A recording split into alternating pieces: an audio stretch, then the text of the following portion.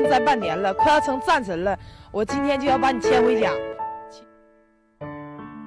我有一段婚史，当时为了他，我离家出走，我们是白手起家。后来条件好了，他找小三儿了，要抓小三儿一顿揍。我打小三儿了，他还打我，这日子没法过了，我就跟他离了。我有一个八岁的孩子，他就是我的命，我就想找一个有责任心的男人啊，对我孩子好，对我好。我这人脾气不好，有一回我出去跟朋友溜达，有一个男的主动上来搭讪，我一急眼，叮咣给他一顿揍。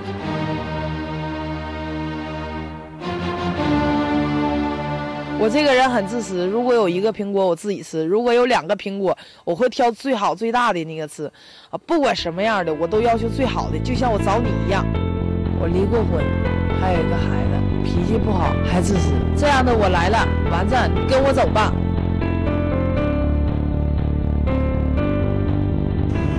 终于找到馒头哥家店了，你们看看这冷面，还有米饭，什么都有。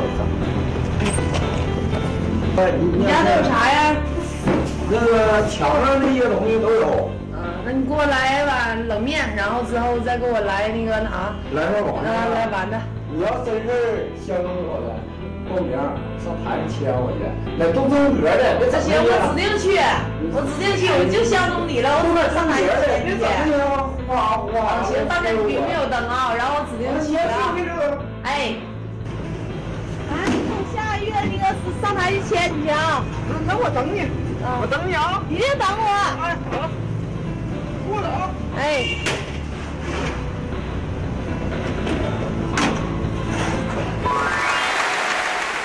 这姑娘我觉得真的挺实诚，而且姑娘你偷拍。